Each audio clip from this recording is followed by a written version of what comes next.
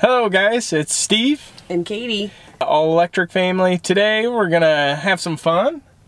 Yes, do some comparison. Yeah, so we want to compare gas versus electric and we had access to a Ford Explorer, an ST version.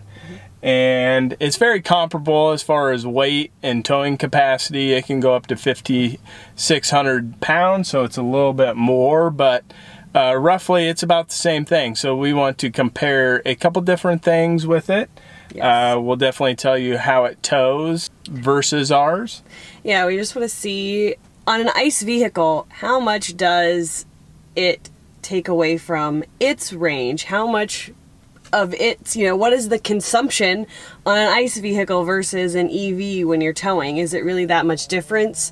Yeah, so we're going to do our typical 60 mile an hour for 30 miles on both vehicles and then compare them with a baseline of towing and versus not towing. So we're going to be doing some driving today. All right, let's get driving. So this is the it is a 2020 Ford Explorer ST that has 400 horsepower and the towing capacity is 5,600 pounds.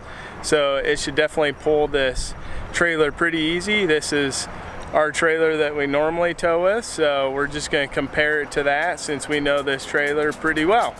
So let's get going.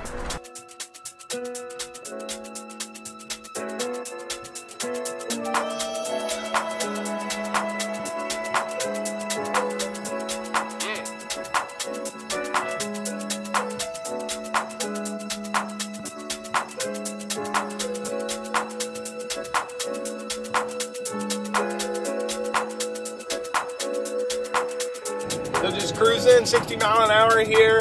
It definitely pulls roughly about the same so far. We do have 15 mile an hour wind, so it is a good test to see how well that this Explorer can handle it. Uh, but I'll compare it uh, once I trade this over to the Tesla. It uh, seems to be doing okay on fuel consumption and not getting pushed around or anything like that. The one interesting thing about this is this has a lane keep assist, I think is the is what it's called. Um, anyways, it does it will actually do that while you're towing, but it does kind of react a little finicky when you're doing it. It's a little bit like the autopilot in a sense. It keeps you in between the lanes where it needs to be, but it uh, definitely uh, makes it feel a little bit weird, like it goes back and forth when it is engaged. So I disengaged it. So I thought maybe it would have one up on the Tesla, but I didn't enjoy how it made the vehicle feel, so I disengaged it. Uh, it was not like the Tesla. The Tesla will disengage autopilot because it feels the weight back there. Anyways, continue on.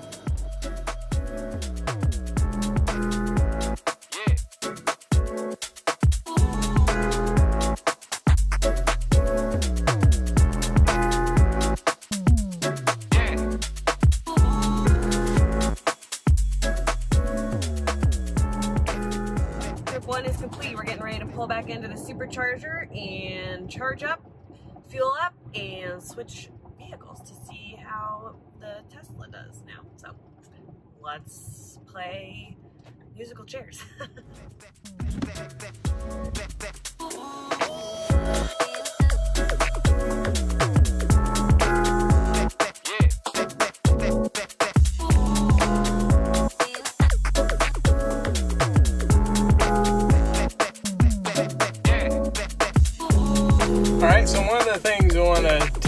too is how long it takes for us to charge back up and put fuel back in the vehicle. So let's start the timer now. I'm gonna get out and uh, put fuel in the Explorer.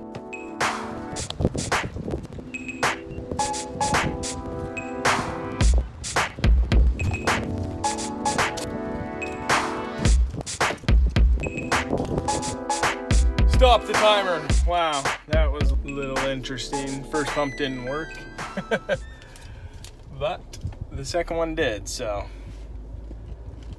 All right, let's go get hooked up to the Tesla, unhook this trailer, and do that test run and see how well that turns out.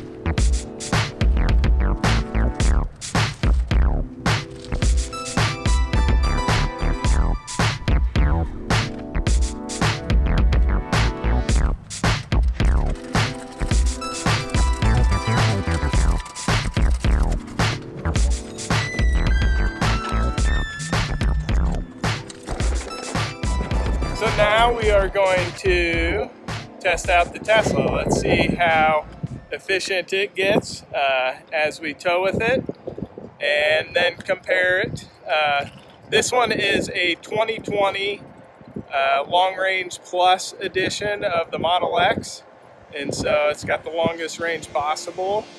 Um, anyways, let's go test it out and see how it goes.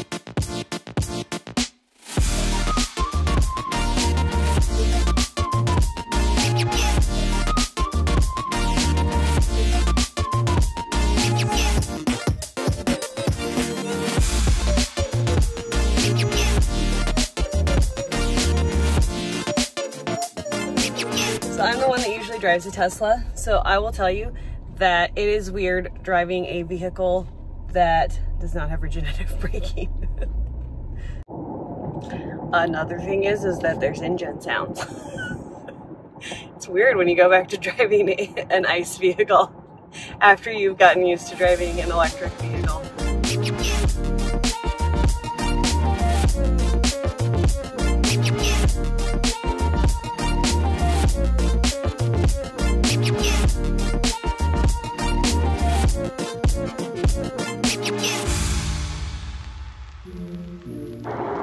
All right, so towing with the Tesla, I would definitely have to say for stability, the Tesla will win on that. It uh, weighs a little bit more, so that's probably why, but it definitely holds to the road better. So, yeah, it, it just keeps that trailer really sturdy back there. You feel it every once in a while, but once again, we have 20 mile an hour gusts, uh, just regular 15 mile an hour winds right now. So it's a good test. I like it. So the Explorer, you could just feel it a little bit more back there. So yeah, let's continue on.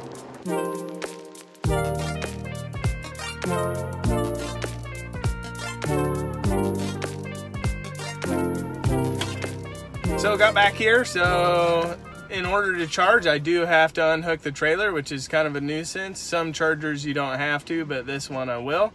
So I will factor that in. Unfortunately, that'll give uh, the gas vehicle a big advantage. Anyways, uh, let's get unhooked and start charging. It took me about three minutes to actually unhook it and now I'm charging. So it says about 15 minutes. So I think that the the Tesla will lose that battle by you know 10 15 minutes maybe even more unfortunately. But that that's the way that it is. Until technology advances to where you can charge super fast uh, the the gas vehicle will always win that. But I still wanted to compare that. The one nice thing is is you gotta look at the positives. Uh, i'm gonna go get some starbucks now so let's go do that all right so we got the numbers and it obviously took me a while. Um, not very good at math so it takes a lot of time. Now and compare them in three different categories. I'm going to start with stability first. I started with the explorer and the explorer was really stable, but I had forgotten just how stable the Tesla really is. And once you get in the Tesla and are towing with that, the Tesla really does win on that. I'm sure it's the battery stabilize it and really hold that trailer back there comfortably. It's not like the Explorer was terrible or anything, but you definitely could feel the trailer a lot more back there. And so I would have to say that the Tesla wins on that one. Uh, the next category that I'm gonna go over is charge and fuel. From the video, you can tell that uh, Explorer wins on this. It just takes a lot less time. It took five minutes for me.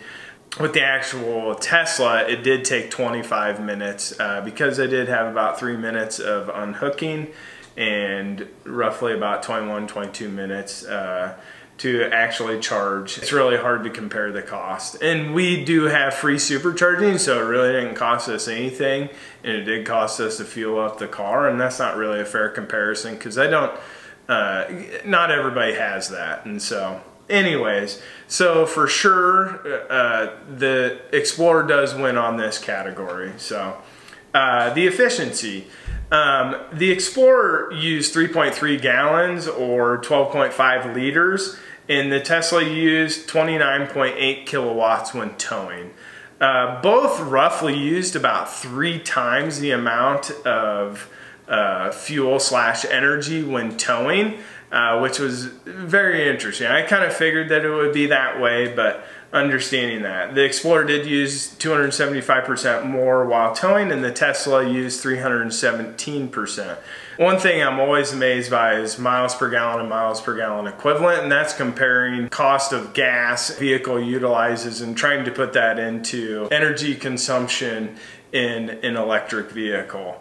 And so I'm going to use that standard when comparing that. Explorer, it did get 29 miles per gallon when not towing and 10.5 miles per gallon when towing or in metric standards it would be 12.3 kilometers per liter without towing versus 4.5 kilometers per liter uh, while towing. In the Tesla, in miles per gallon equivalent, it got 100 miles per gallon versus 39 miles per gallon equivalent or 42.5 kilometers per liter equivalent and 16.5 kilometers per liter equivalent while towing. So when you look at this, the Tesla does win in this category because it's more efficient when you're comparing the energy consumption versus consumption of gas. Make the electric vehicle consumption a, a, lot better and cheaper in that sense.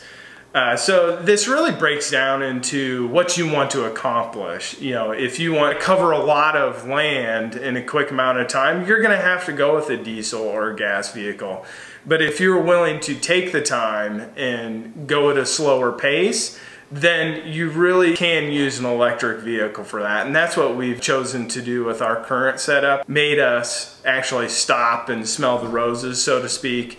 Uh, we've explored some areas that we normally wouldn't and we we honestly have been on regular road trips without a trailer and so you will explore that area even just a little bit you'll uh, stop and take a look around maybe eat at a restaurant rather than get fast food and get back on the road it, it does help slow down. And for a family of five, it's really perfect for us because we can do that. It's really up to you. I just wanted to break this down since we have tone all summer. I wanted to compare it with a gas vehicle that I felt was really comparable to the Tesla and I think that Explorer fit the bill for that.